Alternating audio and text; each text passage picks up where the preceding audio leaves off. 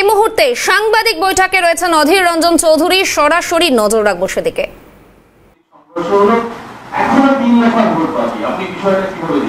মমতা ব্যানার্জি রাজ্য পশ্চিমবঙ্গ, এখানে কিছু হোক আর না হোক, এখানে রাজনৈতিক সন্ত্রাস আছে, রাজনৈতিক খুন আছে, এখানে দুর্নীতি আছে, এখানে চুরি আছে, এখানে রাহাজানি আছে, পুলিশ আর তৃণমূলের যৌথ সন্ত্রাসের কাহিনী আছে।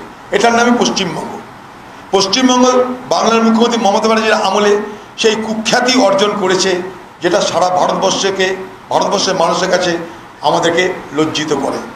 এই মমতা ব্যানার্জির নেতৃত্বে পশ্চিমবঙ্গে সন্দেশকালী হয়, কামদুনি হয়, পশ্চিমবঙ্গে হাজার হাজার কোটি টাকা লুট হয়, এই পশ্চিমবঙ্গে রাজনৈতিক সন্ত্রাস খুন চলতে থাকে। এই পশ্চিমবঙ্গে পঞ্চায়েত নির্বাচনে মানুষ ভোট দিতে পারে না নমিনেশন ফাইল করতে পারে না, পৌর নির্বাচনে মানুষ অংশগ্রহণ করতে পারে না, এটাই পশ্চিমবঙ্গ। তাই পশ্চিমবঙ্গে মমতা ব্যানার্জির রাজ্যে বিরোধীরা খুন হবে এটার মধ্যে অবাক হওয়ার কিছু নেই কিন্তু এটার মধ্যে নিশ্চয়ই আমাদের দুশ্চিন্তার কারণ আছে।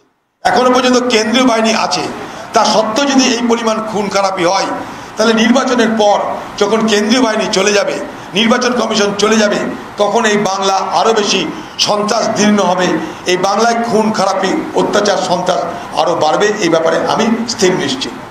पूजा एंसर दादा मुख्यमंत्री ममता बनर्जी ने आज इंडिया अलायंस को लेकर अलग बयान दिया है। उन्होंने कहा है कि लोग उन्हें गलत समझ रहे हैं। वो इंडिया अलायंस का हिस्सा है लेकिन बंगाल में वोट जो है बीजेपी के पैसे से सीपीएम और कांग्रेस करा रही है उनको वोट ना डाले। कैसे देखते हैं? बहुत अच्छा।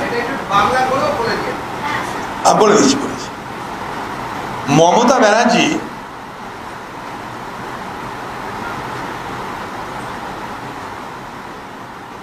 যখন ইন্ডিয়া যেটা সভাগুলো হচ্ছিল, আপনারা মনে করে দেখুন, পাটনা, ব্যাঙ্গালোর, বোম্বে, তখন মমতা ব্যানার্জির পাশে রাহুল গান্ধীও ছিল, সীতারাম ইয়াচুরিও ছিল। তখন দিদির কাউকে খারাপ লাগেনি।